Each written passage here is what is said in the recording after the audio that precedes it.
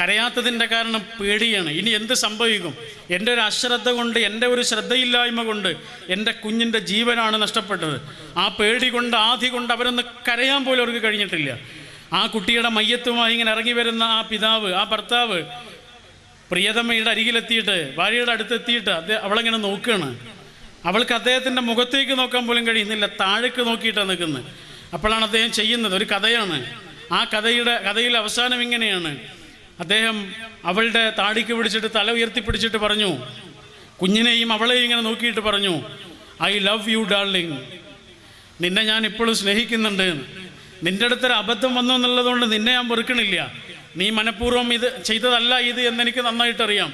അതുകൊണ്ട് നിന്നോടുള്ള സ്നേഹത്തിൽ എനിക്കൊരു കുറവുമില്ലട്ടോ എന്നാണ് ആ പറഞ്ഞതിന് അപ്പം അർത്ഥം നിന്നെ ഞാൻ ഇപ്പോഴും സ്നേഹിക്കുന്നുണ്ട് കേട്ടോ എന്നാണ് അപ്പം അതിന്റെ അർത്ഥം. ഇതെന്താണ്? ഇതാ ആദരവാണ്. ആ ആദരവിന്റെ ഭാഗമാണിത്.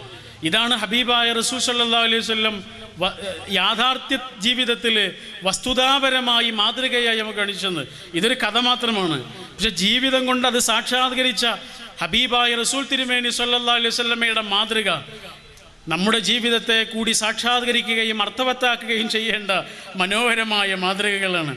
എത്രയോ സന്ദർഭങ്ങളുണ്ട്.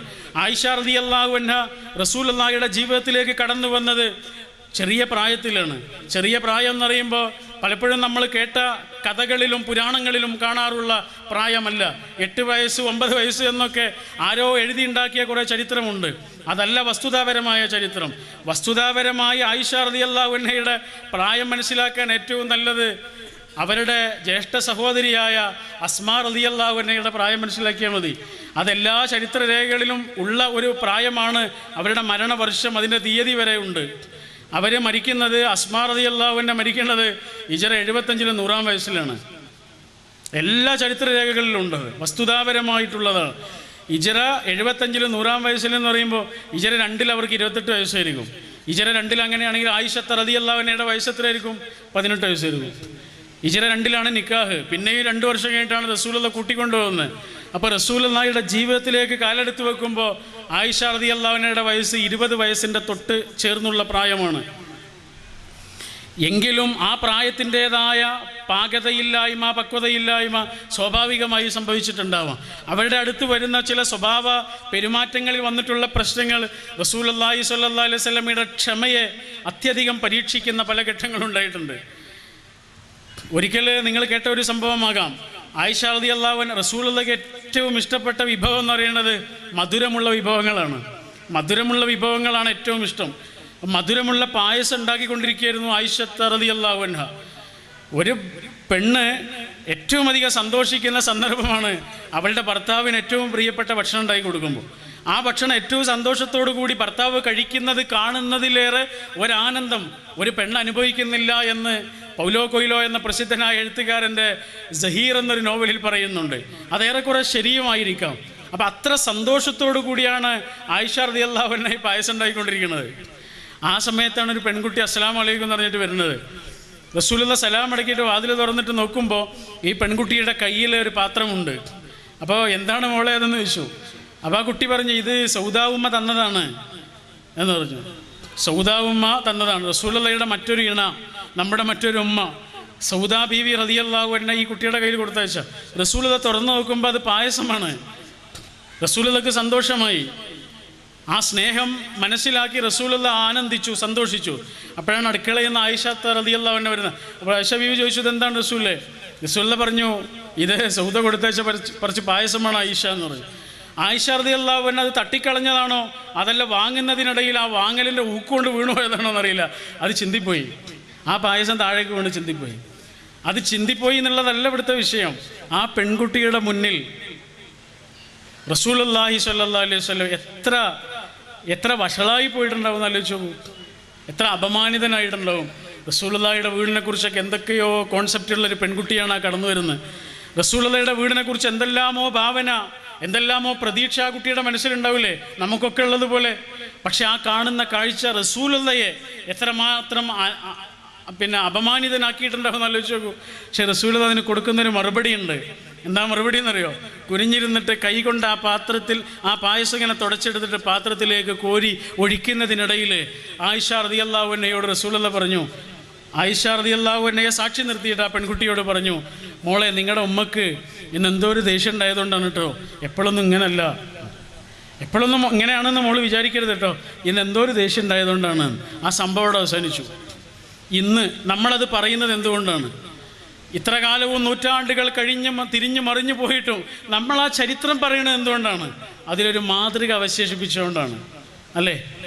രണ്ടുപേരൊരിക്കൽ കടന്നു. ആയിഷ ബീവി റസൂലത ഒരിക്കൽ കടന്നു രാത്രി പായയിൽ. ആയിഷ ബീവി ഒന്നുറങ്ങി ഉണർന്നു നോക്കുമ്പോൾ റസൂലതയെ കാണാനില്ല. അവർ ഉറപ്പിച്ചു ഏതെങ്കിലും ഭാര്യയുടെ അടുത്ത് പോയിട്ടുണ്ടാവും. റസൂൽ അങ്ങോട്ട് വരട്ടെ കാണിച്ചു കൊടുക്കാൻ റസൂൽ കണ്ട് വരട്ടെ കാണിച്ചു കൊടുക്കാം. അല്ല ഇവിടെ ഇരിക്കണ്ട പുറത്തിറങ്ങി നിൽക്കണം. അങ്ങനെ വീടിന്റെ പുറത്തേക്ക് ഇറങ്ങിയിട്ട് റസൂലത വരുമ്പോൾ തന്നെ കാണട്ടെ എന്ന് വിചാരിച്ചിട്ട് ഇങ്ങനെ പുറത്തിറങ്ങി നിൽക്കുമ്പോൾ കുറച്ചപ്പുറത്ത് നിലാവിൽ നിഴൽ പോലെ ചന്ദ്രപ്രഭയുള്ളൊരു രൂപം നിൽക്കുന്നു. സൂക്ഷിച്ചു നോക്കിയപ്പോൾ അത് വേറെ ആരുമല്ല ഹബീബായ റസൂൽ സല്ലല്ലാഹു അലൈഹി വസല്ലമയാണ്. മദീന പള്ളിയുടെ ഓരത്തുള്ള ബക്കീഹ് ഖബർസ്ഥാനിനരികിൽ ശുഹതാക്കളായി പോയ സ്വഹാബികളുടെ ഖബറിനരികിൽ നിന്ന് മരണത്തെക്കുറിച്ച് ആലോചിച്ച് പരലോകത്തെക്കുറിച്ച് ആലോചിച്ച് പ്രാർത്ഥിച്ച് കരയുകയാണ് റസൂലുള്ളാഹി സ്വല്ലല്ലാഹു അലൈഹി വസല്ലം. ആയിഷ ബീവിക്ക് വല്ലാത്ത സങ്കടമായി. റസൂലല്ലയെ അടുത്ത് ചെന്ന് വാരി പുണർന്നിട്ട് പറഞ്ഞു റസൂലെ ഞാൻ എന്തൊക്കെ ആലോചിച്ചു പോയി? എനിക്ക് മാപ്പാക്കണം. എന്താണ് ആയിഷ നീ ആലോചിച്ചത് എന്ന് ചോദിക്കുകയല്ല റസൂലല്ല ചെയ്തത്. മറിച്ച് പരലോകത്തെക്കുറിച്ചും നരകത്തെക്കുറിച്ചും സ്വർഗത്തെക്കുറിച്ചും പറഞ്ഞു കൊടുക്കുകയായിരുന്നു. സ്നേഹത്തിന്റെ മഹാഗുരുവായ റസൂൽ തിരുമേനി സല്ലാ അലൈഹി വസല്ലം. അപ്പോൾ ഒരാൾക്ക് നമുക്ക് മാപ്പ് കൊടുക്കാൻ കഴിയുന്നത് എപ്പോഴാണ്? ഒരാൾ വലിയ വലിയ പോരായ്മകൾ തന്നെ അവരുടെ ജീവിതത്തിൽ ഉണ്ടാകുമ്പോഴും അവർക്ക് നമുക്ക് മാപ്പ് കൊടുക്കാൻ കഴിയുന്നത് എപ്പോഴാണ്? നമുക്ക് ആ പോരായ്മകൾ മറന്നു കൊടുക്കാൻ കഴിയുന്നത് എപ്പോഴാണ്? അതിന് സാധിക്കുന്നത് അവരോട് ഉള്ളിന്റെ ഉള്ളിൽ നിന്ന് സ്നേഹവും ബഹുമാനവും ഉണ്ടാകുമ്പോഴാണ്. ആ സ്നേഹവും ബഹുമാനവും ഉണ്ടാവുക എന്നതാണ് എല്ലാ ബന്ധങ്ങളുടെയും അടിസ്ഥാനം എന്ന് നമുക്ക് നമ്മുടെ ദീന് പറഞ്ഞു തരുന്നു. എല്ലാ നല്ല ബന്ധങ്ങളും ആ നല്ല ബന്ധങ്ങളുടെ അടിസ്ഥാനം സൗഹൃദമാകുമെന്ന് സ്നേഹത്തിന്റെ മഹാദൂതൻ ജീവിതത്തിലൂടെ കാണിച്ചെന്നുണ്ട് സൗഹൃദമാണ്. ഫ്രണ്ട്ഷിപ്പാണ് എല്ലാ നല്ല ബന്ധങ്ങളുടെ അടിസ്ഥാനം. അതുകൊണ്ടാണല്ലോ റസൂലതയുടെ കൂടെയുള്ള ആളുകളെ റസൂലത വിളിച്ചത് എന്താണ്? എന്റെ വിദ്യാർത്ഥികൾ എന്നാണ് വിളിച്ചത്? അല്ല. അല്ലെങ്കിൽ എന്റെ ശിഷ്യന്മാർ എന്നാണോ വിളിച്ചത്? അതൊന്നല്ല വിളിച്ചത്. റസൂലത വിളിച്ചത് സ്വഹാബി എന്നാണ് വിളിച്ചത്. അസ്ഹാബ്. അസ്ഹാബ് റസൂലില്ല. എന്ന് പറഞ്ഞാൽ എന്താ? സ്വഹാബി എന്നുള്ള വാക്കിന്റെ അടുത്ത് ചങ്ങാതി എന്നാണ്. റസൂലുള്ളാഹിയുടെ ചങ്ങാതിമാർ. റസൂലുള്ള അങ്ങനെ പറഞ്ഞത്? അവരൊക്കെ എന്റെ ചങ്ങാതിമാരാണ്. ചെങ്ങാത്തമാണ് സൗഹൃദമാണ് എല്ലാ നല്ല ബന്ധങ്ങളുടെയും അടിസ്ഥാനമെന്ന് നമ്മുടെ ദീന് നമുക്ക് അല്ലെങ്കിൽ റസൂൽ നമുക്ക് പറഞ്ഞു തരികയാണ്. ഈ ആദരവിലൂടെ ഈ ബഹുമാനത്തിലൂടെ എല്ലാ മനുഷ്യനോടും സൂക്ഷിക്കേണ്ട ആ ആദരവാണ് എല്ലാ നല്ല ബന്ധങ്ങളുടെയും അടിസ്ഥാനം. അങ്ങനെയുള്ളവർക്ക് ശത്രുക്കൾ ഉണ്ടാവില്ല അവർക്ക് എല്ലാവരെ കുറിച്ചും നല്ല വിചാരങ്ങൾ ഉണ്ടാവുക എല്ലാവരെ കുറിച്ചും നല്ല വിചാരങ്ങൾ ഉണ്ടാവുക എന്നത് നല്ല ഇബാദത്താണ് എന്ന് റസൂൽ പഠിപ്പിച്ചു തന്നത് ഹസുനുൽ ഹുസ്നുൽ ഇബാദ. ഹുസ്നുല്ലന്നി മിൻ ഹുസ്നുൽ ഇബാദ. ഒരാളെ കുറിച്ച് നല്ലത് വിചാരിക്കുക എന്നുള്ളത് നിസ്കരിക്കുന്നത് പോലെ നോമ്പ് നോൽക്കുന്നത് പോലെയാണ് അതാ പറഞ്ഞത്.